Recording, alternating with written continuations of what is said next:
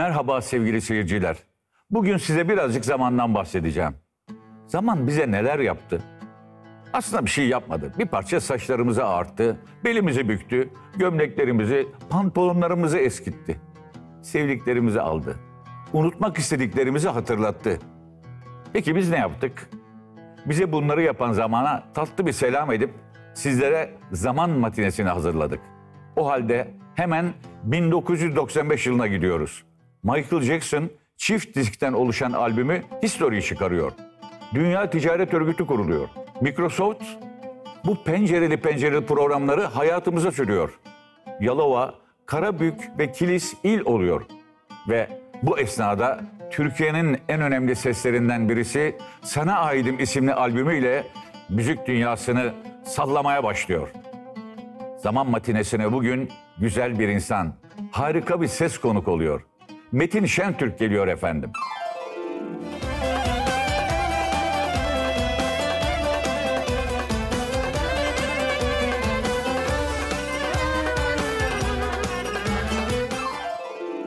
Metin Şentürk 16 Mayıs 1966'da İstanbul'un tarihi semtlerinden biri olan Fatih'te dünyaya geldi. Kendi söylemiyle 7 çocuklu kalabalık bir ailenin yaramaz bir çocuğuydu.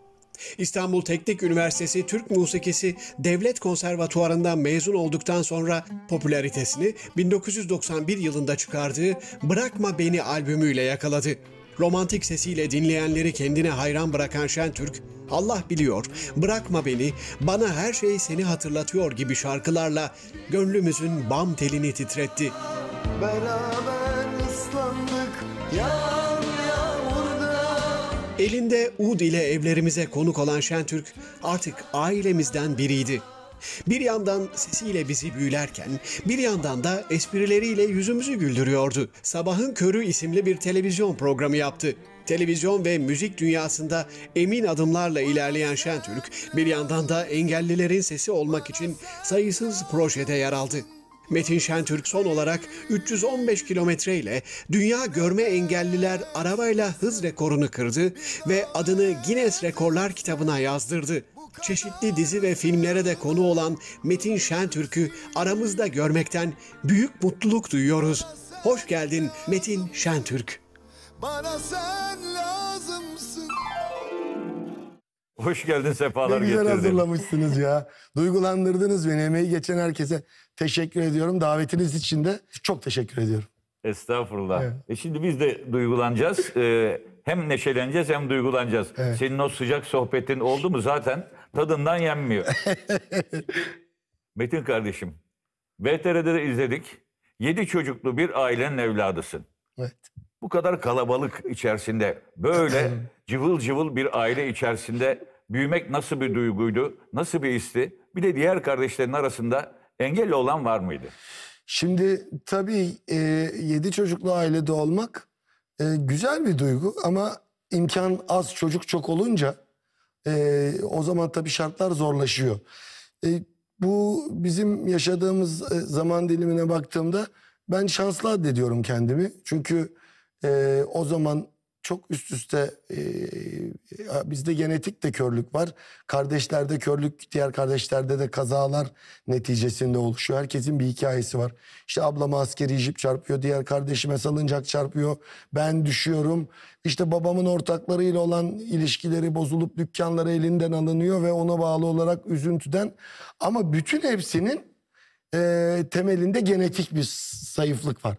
Baba tarafından gelen o genetik sorun e, herkes gibi çocukların işte düştüğü kalktığı bir e, kabul edilirse e, her çocuğun öyle bir kaza geçirmek gibi görmeseniz bile her çocuk düşer kalkar ya hiçbir şey olmaz çocuğa ama bizde o genetik zayıflıktan dolayı ilk düşmede kalkmada ya da minik bir çarpmada hemen göz gidiyor.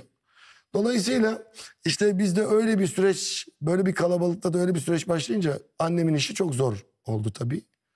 Ee, o süreçte babamın imkanları, ticari imkanları da kaybolunca, ailede bu kadar kalabalık olunca e, şartlar zorlaştırmıştı. Çocukluğumda e, annemin şöyle bir mimarlığı var hayatım üstünde.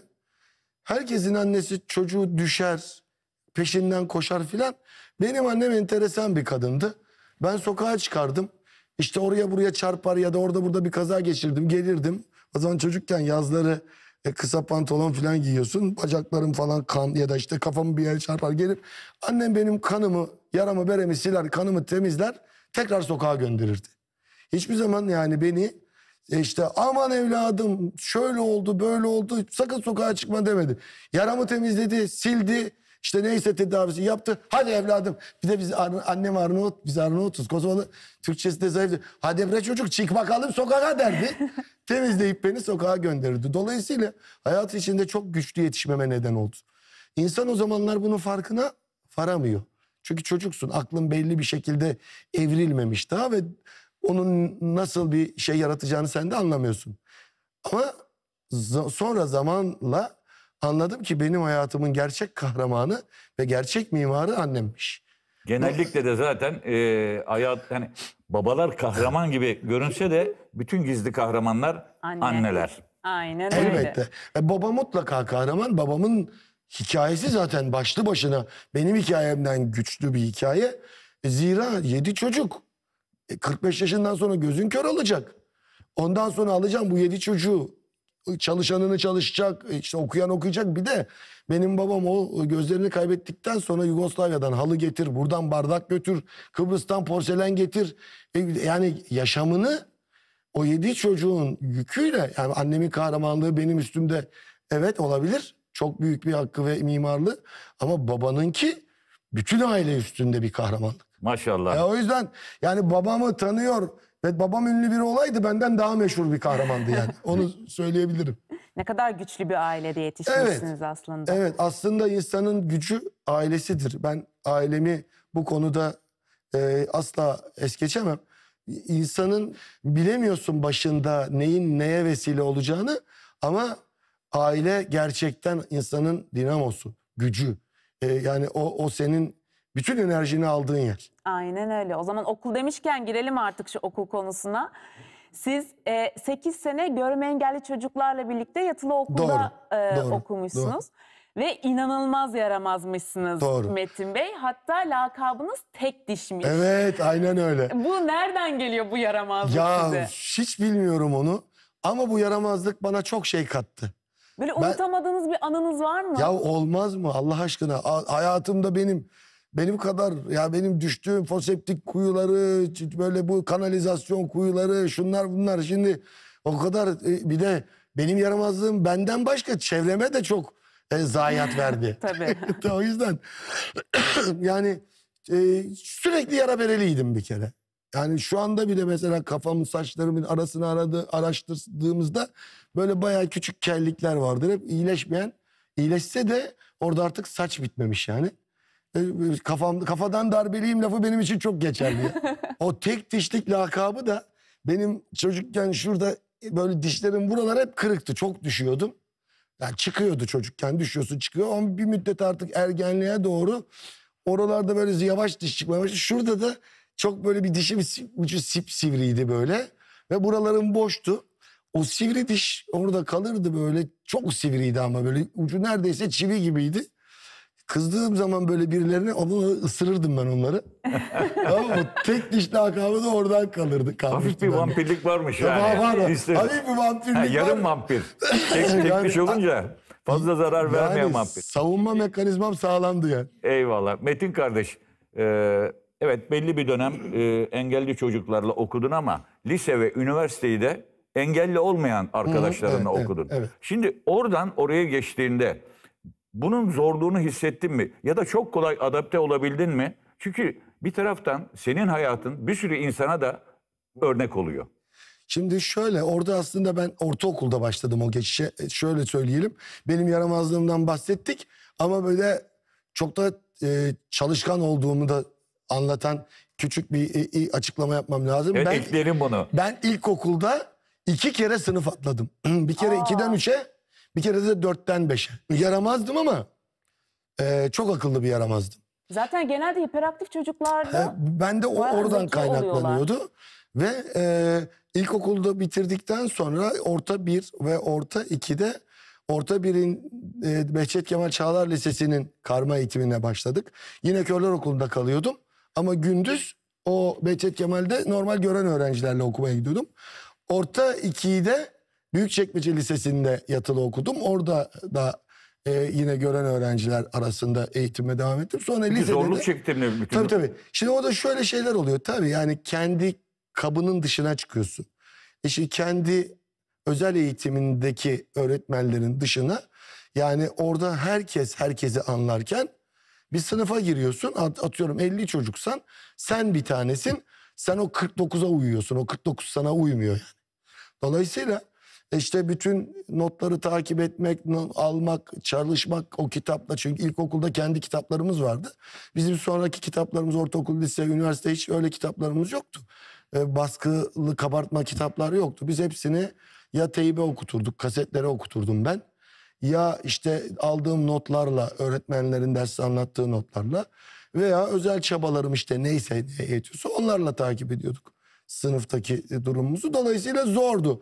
Ama bir daha söylüyorum bütün o zorluklar benim gücümü onlar yaratmış. Dolayısıyla e, çok erken kalkardım mesela saat 5'te kalkardım. Her gün okula 9'da derse git, gideceğim. E, lise ve üniversitede artık yatılı olmadığım için evden gidiyordum. Ve e, her gün 5'te kalkardım. O günün ezberini tekrar ederdim. O günün çalışacağım imtihanım varsa işte tekrar kasetleri dinlerdim, notlarımı okurdum. Ve e, e, sınıfta da tek olduğum için diğerleri görüyor. Ben 49 kişi, 50 kişinin içinde biriyim, bir kişiyim. Orada küçük düşmemem lazım duygusuyla hareket ederdim hep. O duygu devamlı beni çalışmaya iterdi. E, dikkati başarısızlığımla çek, çekip öğretmenlerin bana merhamet ederek not vermesine değil, kendi başarımla hak ederek almaya çok odaklıydım.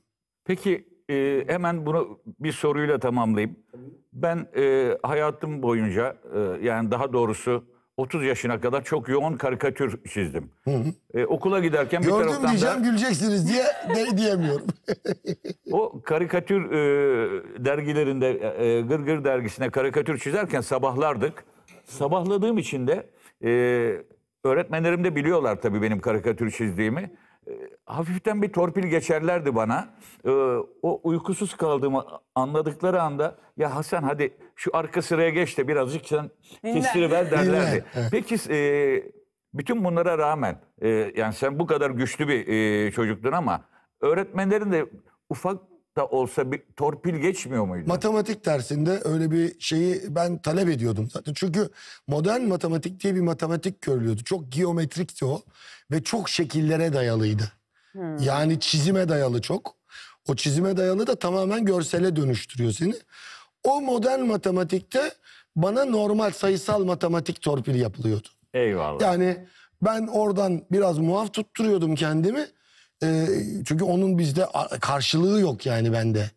Dolayısıyla orada da beni hani yine torpili e, yine dersimi ders olarak tamamlıyordum ama işte oradaki geometrik şey, modern matematikten değil sayısal matematikten ödevler alıyordum. Öyle. Peki Ara- o arada zaman- bir de kopya çekiyordum oluyordu bitiyordu. Peki o zaman biraz artık müziğe e, geçiş yapalım diyorum ben. Buyurun. Metin Bey biz aradık taradık sizin müziğe nasıl başladığınızı bulamadık. Ben şimdi bir magazin kurdu olarak bu aşkın nereden geldiğini çok merak ediyorum. Bize anlatır mısınız? Şimdi bulamazsınız çünkü onun bir başlangıç tarihi yok. ben, de de- bilmiyorum diyebilir, Evet. bilmiyorum. Ben de ben de özel bir tarihi yok onun.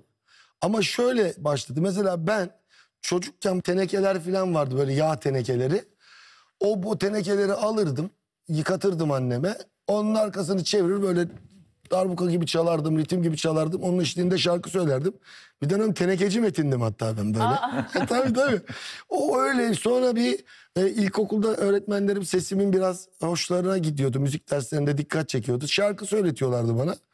Sonra okulda bir ut çalan arkadaşım vardı. O da e, Körler Okulu'nda çok güzel de ut çalıyordu. Oradan bir heves ettim.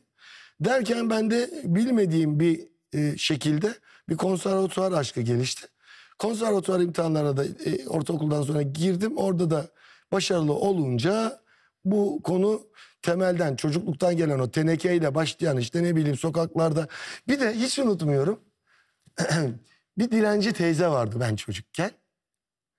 O teyze Sok o artık bizim Fatih'in teyzesiydi yani. Dile, böyle müdavim dilenciydi. Şöyle geziyorduk. Kör oldum yavrum yavrum falan böyle müzikal bir şeyle dilenirdi o. Ben de onun tabii çocuğum dilenci olduğunu bilmiyordum. Anne anne ben de bu teyze gibi olacağım diyordum anneme. hep. Onu hatırlıyorum. Teyzelerin önemi Evet. yatsınamaz. Aynen öyle. Seni evet ya ben bu yolda ilerlemeliyim. Bak bende bu var diyebileceğin bir bir küçük bir hadise oluyor. Şimdi anlatırken sana küçük geliyor ama o zaman için sana çok büyük şey katıyor o. Ve öyle kırılma noktaları hayatımızda bizi galiba böyle bir roket gibi fırlatıyor yukarı. Eyvallah. O roket rampası hakikaten çok önemli. Yani e, Kesinlikle. Evet, başımızda bir şey var, e, bir yetenek var, e, onun içerisindeyiz. Büyüklerimiz de bir şekilde söylüyorlar falan ama küçücük bir şey. Bir Seni kıvılcım fırlatıyor. lazım. Evet, Kıvılcım. o da nasip. Tabii tabii. O da nasip. E, mesela mahallede bir sürü arkadaşının arasında, dostunun arasında sana nasip oluyor. Onun da hakkını vermek lazım. Tabii. İlerleyen yaşlarda Tabii. o ayrı. Yoksa Aynen öyle. yoksa ilahi adaletteki terazide bir sarsılma yaratırsın. Çünkü sana Allah bunu veriyor kullan diye. Sen bunu kullanmazsan o zaman belki bunu başka birine verecekti ve o kullanacaktı. Evet. Eyvallah. De böyle de düşünmek lazım. Eyvallah. Yani hakkını vermek hem senin için hem de karşı tarafta belki o hakkı verilmeyenlerin hakkını da yememiş olmak için iyi kullanman mecburiyetinde olduğun bir şey. Yani. Ne Evet. kadar güzel anlattınız. Metin kardeş, ya insanlarımız seni çok seviyorlar. Çok sağ olsunlar. Sen e, sürekli tebessüm eden, güler yüzlü bir insansın. Ve e, üstelik de halinden hiç de şikayetçi olmayan ve e, o halini de e, karşısındaki in- insana yük olarak vermeyen, tam tersine bunun da esprisini yapan, sabahın körü mesela, elinin körü gibi e, yani bir taraftan da e, engelinle şey yapan, e, espri yapan bir insansın. Bu mizah duygusunu, bu espriyi nasıl edindin? Bu var mıydı sende? Yoksa o dediğin güçlenme sırasında bir savunma mekanizması olarak mı çıktı? Şimdi bu şöyle bir şey. Bakın hemen çok kısa bir şey söyleyeceğim. Çok rahat anlayacaksınız. Şimdi bak hayata bakalım. Şimdi bir dakika öncene gidemiyorsun. Bir dakika sonranı bilemiyorsun. Ben hep e, aklımı iyi kullanıp yetişkin biri olarak kendimi hissettiğimden beri hep böyle düşündüm. Bildiğim tek şey şu. Ya ağlasam ne değişecek? Üzülsem ne değişecek? Hiçbir şey değişmeyeceğini bildiğim bir şey için e, iki yol var. Ya hikayenin figüranı olacaksın ya kahramanı olacaksın. Kahramanı olmak zordur ama doğru karardır. Ben hikayemin kahramanı olmak için yaşadım. Bir gün hiç unutmuyorum. Bu, bu bende bazen soruyorlar hani ya bu adam ulan böyle güzel neşeli ama evde üzgündür. Ya kardeşim tabii üzgünüm ya. Sürekli eğlenen ya da eğlendiren biri değilim. Ama acılarımızı, mutluluklarımızı, varlığımızı, yokluğumuzu, varsa eşimizi, çocuğumuzu, çoluğumuzu benim bir felsefeciden öğrendiğim bir şey değildir bu. Kendi felsefemdir. Hayat bir yaşama sanatı değil, yönetme sanatıdır.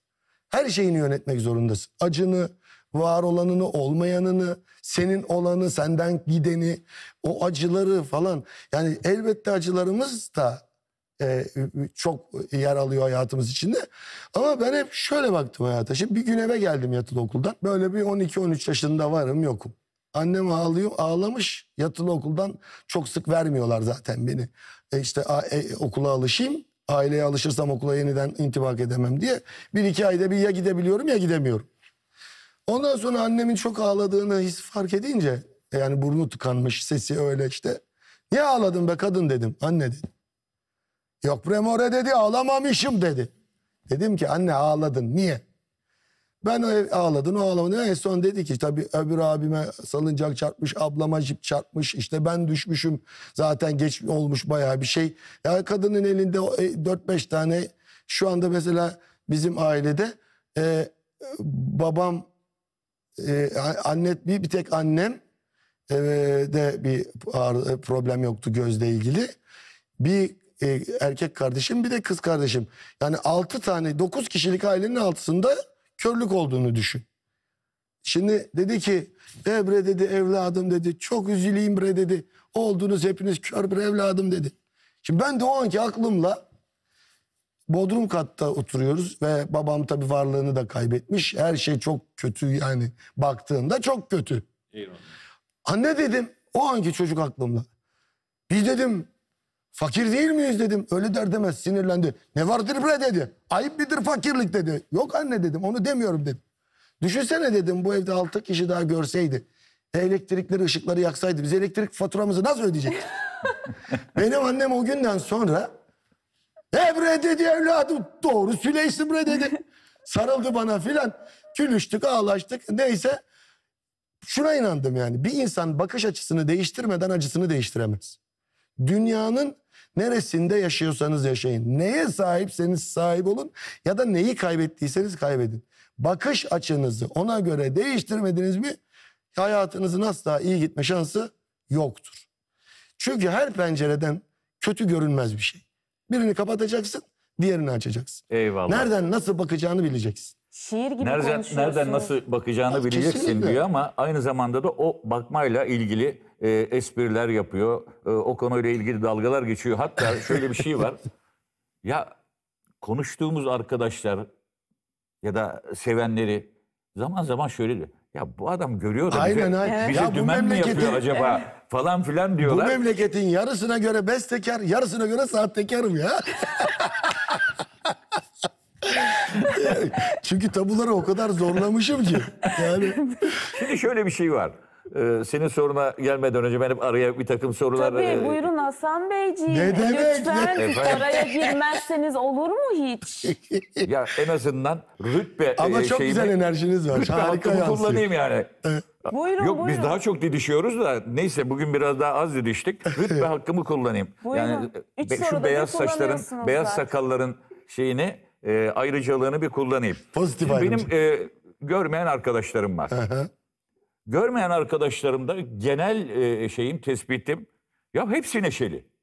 Ve hepsi o konuyla ilgili bir şey yapıyor. Onu yüzüne çeviren, o görmeyenler değil Mesela, aslında. Ka- öbür taraf çeviriyor onu yüzüne. Eyvallah. Bir e, sevgili arkadaşım vardı. Onunla da televizyon programı yapmıştık. Sonra bir gün bana telefon etti. Arjantin'de oturuyor. Bir de Arjantin'de ha. Arjantin'den evlendi. Oh. Düşünebiliyor musun? Bir de görmüyor diyorsunuz Bir de görmüyor diyorsun Bak yani. Arjantin'dekini görmüş almış. Size hala görmüyor diyor. Tabii, tabii. Dedi ki ya Hasan'cığım dedi böyle bir de güler böyle. Eh, eh, eh. Hasan'cığım dedi seninle dedi yaptığımız televizyonun dedi bana e, programın kasetini göndersene evde bir seyredelim. Ama gerçekten böyle. Bak ben size bir şey söyleyeceğim. Ben çok fazla film izlerim. Çünkü mesela hayatımın eee, konuşma lügatımdan tutun işte çok fazla belgesel mesela. Bütün kendi donanımımın çoğunu filmlere ve belgesellere eee, borçluyum ben. Şimdi biz bir 3-5 arkadaş oturuyoruz bazen. Film seyredeceğiz. Bir film seçiyoruz. Dublaj, olm- dublaj olacak. Altyazı olmayacak. Benim tek kaydam var. Fantastik istemem. Bilim kurgu istemem. Anladım. Çok böyle acayip polisiye macera şeyleri se- sevmem. Güzel drama, ağır konuları güzel, ağır e, iş, iyi işleyen ve o tarz filmleri seyrediyoruz. Mesela böyle 4-5 arkadaş oturuyoruz. Tam böyle bir yerde bir şey kaçırıyor bir tanesi. Dönüp bana diyor ki, lan Metin bu kimdi? Oğlum diyorum manyak benim sana bunu sormam lazım normalde. Bu kimdi? Bu neydi? Falan. Şimdi e, derslerde de böyleydik. Okulda birçok öğrenci kafası yani hava güzel oluyor. Hop kafası dışarıdaki çiçeğe böceğe gözü ka- gidiyor kaçıyor. E, kar yağıyor bakıyorsun belki de o karın yağışına gözü takılıyor dikkati dağılıyor. Bizde dikkat dağılma diye bir şey yok. Oraya fokuslandığın zaman o fokuslandığın konunun ıncığını cıncığını çıkarıyorsun. O yüzden yani mesela şu anda da hani o kadar çok dizi özellikle e, şeyi takip ediyorum. Çok zaman geçirmek açısından hani bu korona sürecinde sokağa çıkmadık. E, işte e, gel gitler yapmadık. Kimseye gitmedik, kimseye gel demedik filan. İnanılmaz e, uzun böyle 40 bölümlük, 50 bölümlük diziler takip ediyorum. Ve çok da keyif alıyorum yani. Bu seyretmek olayı, seyretme olayı şöyle düşünün. Bakmak ve görmek arasında gerçekten fark var.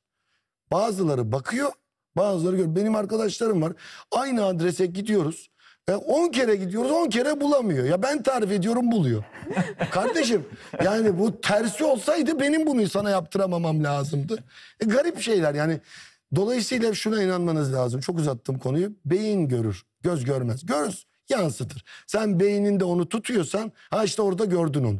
Eyvallah. Merve, e, şimdi ben diğer arkadaşlarımdan, görmez arkadaşlarımdan bahsettiğimde bunlar mesela iki arkadaş genellikle de çok iyi hafız olurlar ha. Onu da söyleyeyim.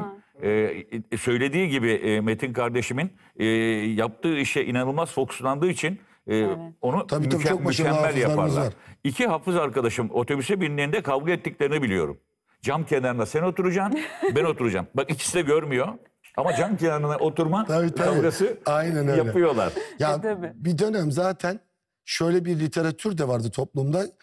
O, o- yani cami ha- hafızı olup olmaman önemli. Görmeyen birini gördüler mi? Gel hafız götüreyim seni derlerdi mesela.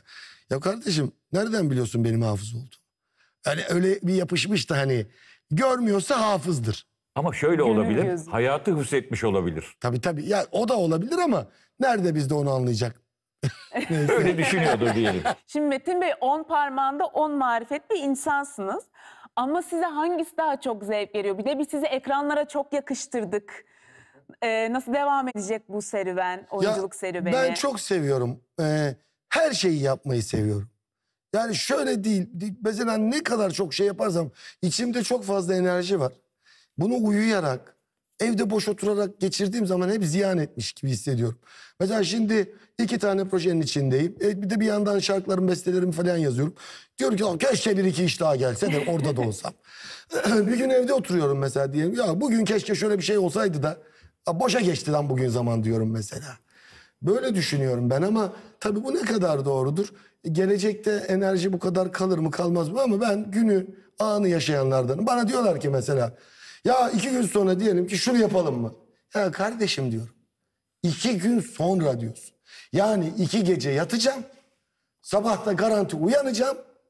Ondan sonra ya böyle bir dünya yok ki. Eskiden ne der? Uyku yarı ölüm der. Ya ben her gece yarım öleceğim. Sabah uyanacağım mı uyanmayacağım mı belli değil. İki gün sonra program yapacağım. Ya yok öyle bir dünya. Diyorum ki ben öyle durumlar. O gün sabah uyanırsam bakarız. Eyvallah. Ben günü yaşarım. Biter. Ertesi gün uyanırsam benim için yeni bir hayat başlar. Çok doğru. Yani çünkü bir gün sonra plan yapılacak bir hayatta yaşamıyoruz.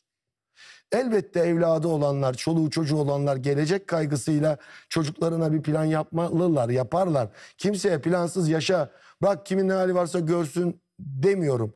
Ama öyle şahsi planlar. O zaman ben biraz önce oyunculukla ilgili soru sormuşken diyorum ki iz bırakanlar sinema köşemize bir gidelim. TRT'mizin arşivinden çıkan nadide bir VTR ile seyircilerimizi buluşturalım. Tamam süpermiş bu. Evet biz de Hadi bir şeyler seyredelim. Seyredelim bakalım. Hadi bakalım. Seyredelim bakalım.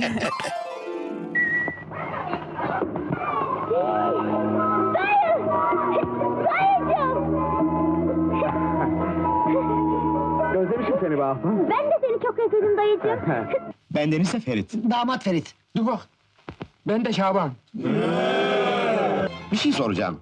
Şu karateciler kiremitleri nasıl kırıyorlar? Çok kolay. Hep beraber arkadaşlardan imza toplayacağız. Var mısın? Vallahi bilmiyorum ki ne diyeyim. Topla dersen toplayalım. Buyurun gözüm. Nedir bu? Sizin? Benim? Ya, ya. Defolun. Defol! Defol! Sevgili Metin kardeşim. Evet e, filmlerimiz çok güzel. Zaten kendisi film Soru seyretmeyi benim. seviyor. Çok. Sende miydi sıra? Evet. Yapma ya. Hasan abi Metin Bey gelince sana bir şey oldu. Merveciğim e, özür dilerim buyurun. Ben bir, hakikaten yani ben de sandım ya. Dur bakayım. Noktalı bir şey gördüm. Ben seni girmeden önce uyarmıştım bu konuda. tamam. Hadi ben dur sustum. Tamam.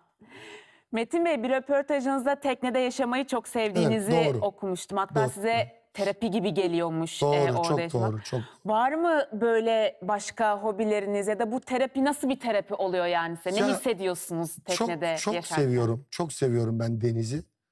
Eskiden Osmanlı döneminde de delileri suyla tedavi ediyorlarmış zaten. ben de yarı deli sayılırım.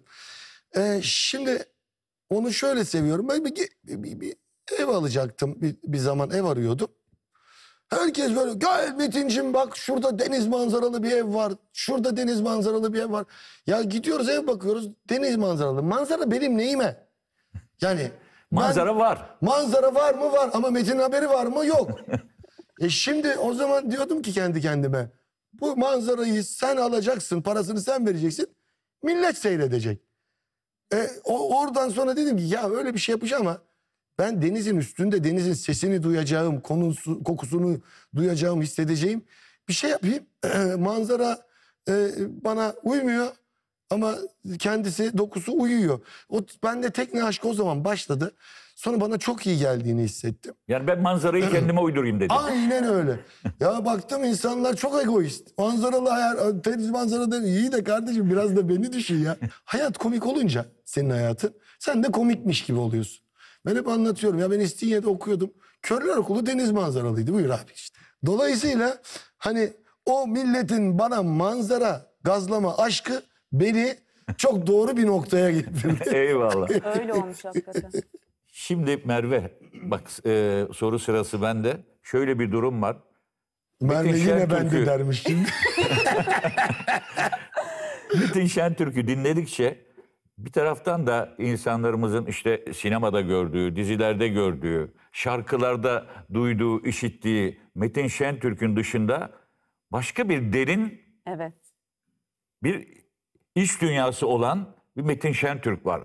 Orada bize bütün bunların, bütün bu tecrübelere sadece bakarak değil, bir başka gözle, gönül gözüyle e, ulaştığını bize söylüyor. Ama bu gönül gözü nasıl bir şey? Senin için gönül gözü ne ifade ediyor? İşte kalp gözü, gönül gözü böyle sırlar dünyası gibi konuşmamıza gerek yok. Ben şuraya bağlıyorum. Akla bağlıyorum o işi. Akıl. Akıl her şeyi gören şeydir bana göre. Ben hani evet e, yani bir yani terminolojide bir literatürde ifade ettiğimiz tabii bir gönül gözü, insanın bir kalp gözü. Zaten bir tasavvufi bir yanı da var bunun. Ama ben bütün her şeyin dönüp dolaşıp akılda sonlandığına inanıyorum. Çünkü manayı aklınızla katıyorsunuz ya duyguya işte neyi yaşıyorsanız. Çünkü akıl sizi yöneten yani siz onu yönetiyorsunuz o da sizi yönetiyor. Akıl çok önemli. Ama akıldan sonra danışacağımız bir yer var e, bana göre de. O kalbimiz en son danışacağımız yer. O, o, o da Çünkü- bana göre kalp de değil o iç sese danışılıyor. bana Eyvallah. göre. Yani iç ses. Ha. Şunları hep e, yaşadık. Muhakkak sen de yaşıyorsundur. Birisi geliyor evet akli olarak karşılaştığımız adamın bize bir zararı yok. Belki faydası da var. Ama o adamdan ya hoşlanıyoruz ya hoşlanmıyoruz. O kişiden bize bir şey yapmadığı halde. Ama ben yani karşımdakinin aklından söz etmedim zaten. E- kendi aklım, kendi aklımla bende de çok oluyor o dediğin. Adam geliyor. Adama baksan okyanus gibi derin. Hoşlanmadım kardeşim. Elektrik, arkadaşlık. Ben bir anda ya seviyorum evet ya, Ya ama sevemiyorum. akli bir şey değil o. ama bunu bana gösteren bir akıl var. Diyorum diyorum ki bu bana bunun arkadaşlığı bana uymaz. Benim birçok arkadaşım bazı önemli toplantılarında beni çağırırlar derler ki ya bir otursana masada sen de yemek ye. Sence bu adam nasıl biri diye. Çünkü e, onun baktığı, gördüğü şeylerin dışında ya adamın o konuşma tarzındaki, ses tonundaki, diksiyonundaki, verdiği e, e, elektrikteki, enerjideki yalanı dolanı ben bu yüzden zaten çok güçlü kalabildim hayatta. Kimi kendimden uzak, kimi kendime yakın tutmayı bilebildiğim için.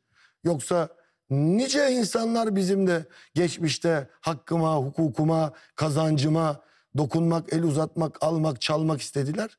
Ama hiçbiri başarılı olamadı. Aslında gözü kapalı yönettiğim bir dünyada hepsini yapabilirlerdi. Eyvallah. Niye yapamadılar? Aklımdan dolayı yapamadım. Evet. O hissiyat. Tabii. Ha, e, o ama hissiyat dönüp iç bambaşka bir sesime şey. de don- danışıyorum tabii. İnsan her zaman aklıyla yaşayamaz. Duyguları da var. Eyvallah. Bazen bile bile duygularından dolayı hata yaparsın. Üzüleceğini bilirsin. Ama buna da akıl müsaade eder.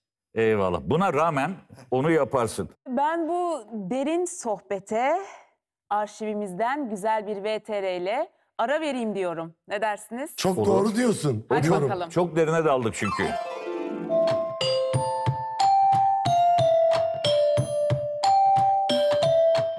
Acaba evinizde kimin sözü geçecek? Tabii ki benim sözü geçecek.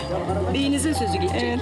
Peki siz ne düşünüyorsunuz bu konuda? Ee, tabii bu konuda ortaklaşa fikirlerimiz olacak. Tabii son karar ne de olsa benim eski batıl inançlara karşı değil ama ama e, tabii evin erkeği olaraktan son söz benim olması gerekir.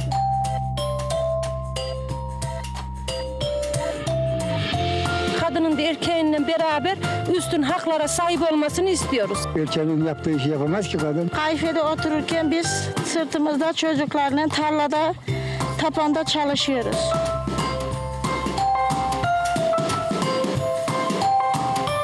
Kadınların da hür olması aynı zamanda onlara da hak verilmesi taraftarı. Her şeye hanım karışır. Ben parayı veririm hanım karışır. Eşittir.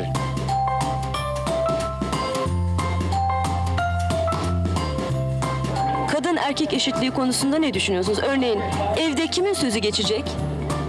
Benim herhalde. Sizin. Peki siz ne düşünüyorsunuz bu konuda? Efendim e, esasına bakarsanız e, hanımın geçmesi lazım. İkimiz de dertlerimizi e, paylaşmamız için çalışacağız. Biz de hakkımızı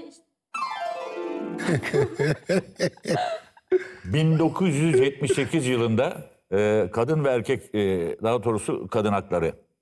1978 yılında kadın hakları konuşuluyor. Bugüne gelip baktığımızda karşımda bir datlı cadı böyle ka- kaşlarını çatıyor. Ben yanlış bir şey yaptığımda hemen sıramı aldır Hasan abi falan. Tabii bütün bunlar e, senin hakkın. Evet. E, Metin kardeşime şunu söylüyorum. On parmağında on marifet var bir taraftan da. Şimdi sadece şarkı söylemiyor, sadece e, dizilerde, filmlerde oynamıyor. Sanatçılık hayatının dışında yarışlara katılıyor. Engelli kardeşlerimizin sesi oluyor, pilot oluyor. E, ne derler e, yarış e, şeyi oluyor, e, yarış pilotu oluyor. Olmadık işler yapıyor yani. Abicim sen bunları nasıl becerdin bu kadar işin arasında? Bir taraftan da ya görme engelli bir adamım ben ama uçuyorum. Ama bir taraftan da otomobil yarışlarında e, rekorlar kitabına giriyorum. E, Şimdi abicim hepsini- senin e, bir ben bir durayım ya bir, Bir frene durduran basayım. yok mu senin? Bir frenin yok mu diyorsun? De- dediğin olmuyor mu? Bundan sonra ne çılgın projelerin var senin? Ben iki tane de bunun dışında kuruluş başkanlığı yapıyorum. Bir de birisini 2010 yılında ben kurdum. Dünya Engelliler Vakfı, DEV kısa adı. Vakfımın mülkünü de satın aldık. Allah'a şükürler olsun. Orayı ayakta tutuyoruz. O vakfın başkanlığını yapıyorum. Orası da engelliler adına ve yararına çalışan bir kuruluş. Bir de Birleşmiş Milletler'de 4-5 yıl e, çok büyük mücadele ettik. Dünyanın doğusu ve batısı arasında köprü olan İstanbul'da bir birlik kurdum. O küresel bir e, çatı örgüt. Onun da başkanlığını yürütüyorum. Oraya da 80 ülkeden 440 kuruluş üye. Dolayısıyla e, sosyal hayata dair projelerimi bu e, az- az önce söz ettiğimiz engelliler adına ve yararına olan alanda birisi ulusal birisi küresel olmak üzere iki kurumsal çatı altında topladım. Hey maşallah. Ee, bireysel o kalmasın, bunun bir ciddi ayağı olsun diye bu yandan da onlarla uğraşıyorum.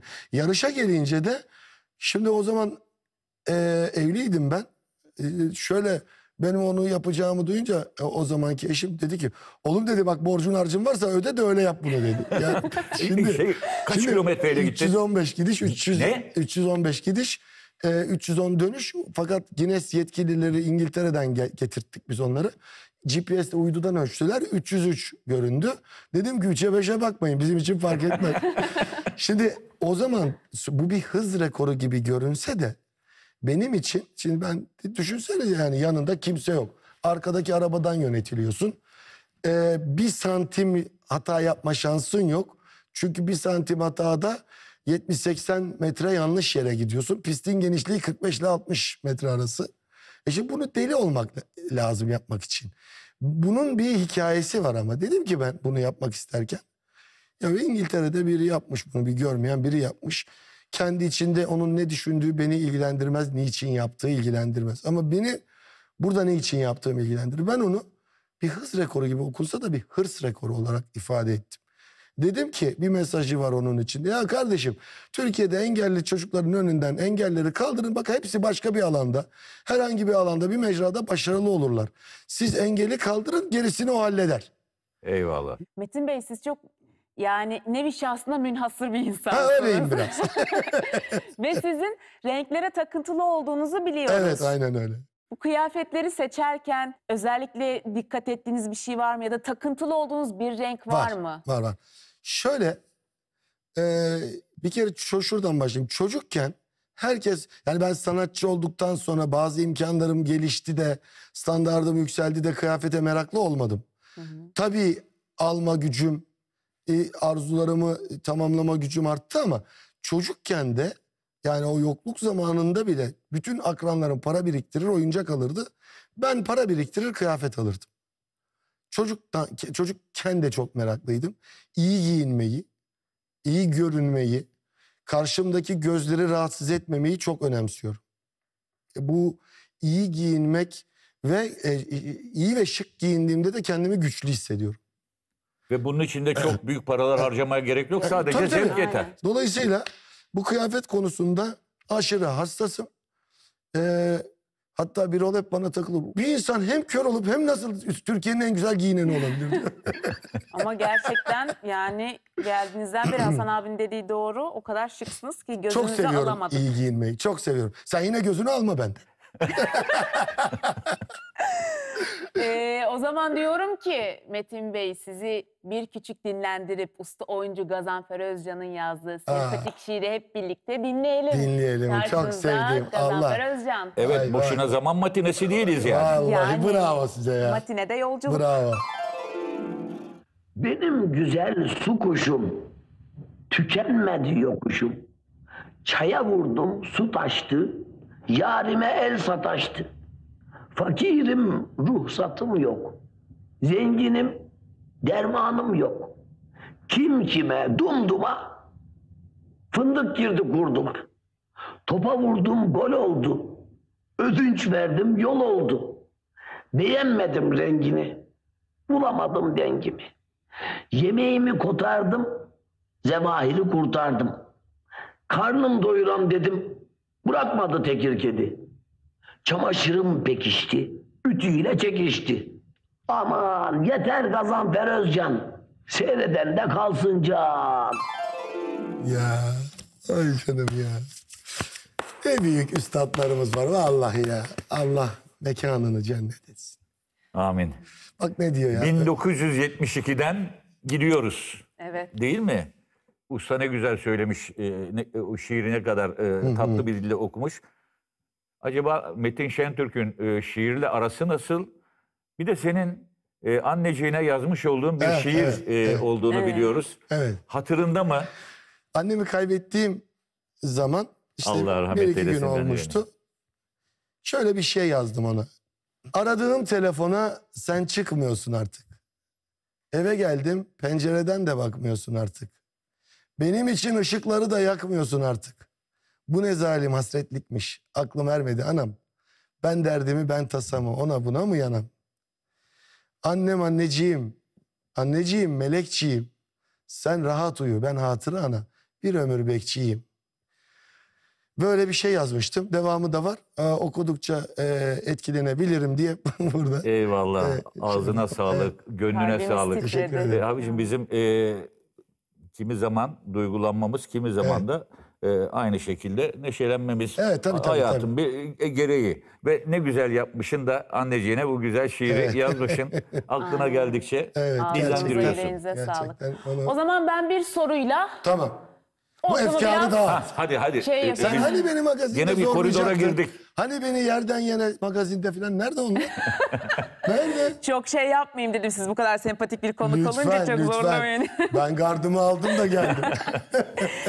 Siz hani sohbetin başında da dediniz ya e, ben hikayelerimin hep kahramanı olmak istedim diye ve zaten s- Metin Şentürk'ün nasıl bir kahraman olduğunu sohbet boyunca dinledik aslında. Ama bu film gibi hayatı bir e, beyaz perde taşıma isteğiniz olur mu ya da hiç böyle bir teklif geldi mi Çok size? güzel bir şey sordun. Ben şunu yapacağım. Ee, isim vermeden söyleyeceğim. Bir iki yerle geçen yıl konuştum. Ben şöyle bir şey yap olmayacağım yani. Hani insanlar çok başarılı olur. Bir ibret hikayesi vardır ya. Ama öldükten sonra yaparlar onu. Vay falan adam ben şöyle bir şey yapacağım. Ben yaşarken e, yapabil yani bir hikaye, öyle bir niyetim var. Hikayemi yaşarken bu hale bu şekilde fi- bir filmleştireceğim. Ama yaşarken yayınlanacak. Öyle öldükten sonra kıymeti bilinen da daha doğrusu kıymetim biliniyor ya. Biliniyor da öldükten sonra daha çok kıymeti bilinenlerden biri olmayacağım. Evet. Kör ölür badem gözde Ha, olur yok, derler öyle. ya. Kör ölecek ama badem gözde olmayacak. Yaşarken badem gözde olacak. Biz de izlemekten keyif Ha, duyarız. güldüren adamın ağlatan bir hikayesi de olabilir. Yani bir, bir her hepimizin çok acıyan yerleri var. Ama bunların e, bir de ben hayatı dedim ya yani çok önemseyen biri olmadığım için e, bunu ne zaman yaptığımın önemi yok. Yaşarken yapacağım ama. İnşallah. Ay inşallah. Metin Şentürk bir taraftan güldürüyorsun. Bir taraftan duygulandırıyorsun. Yeri geldiğinde ağlatıyorsun. Kendi kendine kaldığında besteleri yaparken bizi ağlattığın, bizi duygulandırdığın bu parçalarda sen de ağlıyor musun? Ne yapıyorsun ve o eserleri e, nasıl ortaya çıkıyor? Evet ben eee, kendi şarkılarımda çok e, ağladığım şarkılarda oluyor doğrusunu söylemek gerekirse. Ama ben yaparken yaptıktan sonra benim olan o şarkılar sizin oluyor zaten. Dolayısıyla hani e, duygulandığım, e, gözyaşlarını e, tutamadığım, yazdığım şarkılar olmadı değil. Ama bu şöyle kendimle baş başa kaldığımda, e, o, o, o dünyaya daldığımda zaten kontrol benden gidiyor. Duyguların oluyor kontrol. Dolayısıyla e, o duygulanmalarda bana beni besliyor diye düşünüyorum ben. E, çok da bu aralarda yine öyle bir e, düzenek içindeyim. Acayip hemen hemen 2-3 günde bir şarkı yazıyorum bu aralar. Böyle bir e, patlama var yine beynimde. Allah bereketini Evet, arttırsın vallahi. ya. Allah yani, bereket versin. Yani şu an gitsem herhalde bir 15-20 sene kalan şarkılar yeni yeni yeni yeni diye çıkar idare eder beni yani. Eyvallah. E, çok güzel olmuş. Metin Bey, sizi biz pek çok e, farklı işlerde izledik, dinledik, gördük. E, bundan sonra var mı böyle bir sürprizler, yeni projeler? Benden her an her şeyi bekleyin ya. Bak Eyvallah. öyle, öyle bağlayalım bu işi. Eyvallah. Her an eyvallah. her şeyi yapabilirim. Metin kardeşim ayaklarına sağlık, gönlüne sağlık. Birincisi bize o tatlı dilini açtın ama aynı zamanda da e, bütün izleyenlerimizle birlikte gönül dünyanı da açtın. Sağ olun. Metin Şentürk'ün bilmedikleri bir dünyayı da bilmiş oldular. Ben de bilmiş oldum. Çok teşekkür ediyorum Ben çok bu güzel sohbet için, bu içten sohbetin için. Ayaklarına sağlık, gönlüne sağlık. Ayaklarınıza sağlık. İyi ki geldiniz. Ben de size çok teşekkür ediyorum. Beni çok güzel ağırladınız. Hem gönlünüzde hem mekanınızda. Onun için sizler de sağ olun, var olun. Eyvallah. Buradaki tüm ekip arkadaşlarına da aynı teşekkürlerimi iletiyorum. Rejiden kameramanına, ışıkçısına. Işık bana pek yaramıyor gerçi. Hepinize çok teşekkür ederim. Evet, ışığımız sensin ya. Eyvallah, sağ olun, sağ olun. O zaman sevgili seyircilerimizi Usta Bir isimle uğurlayalım. Karşınızda Erol Büyükburç, Evet. Bir ustadan öbür ustaya. öbür ustaya.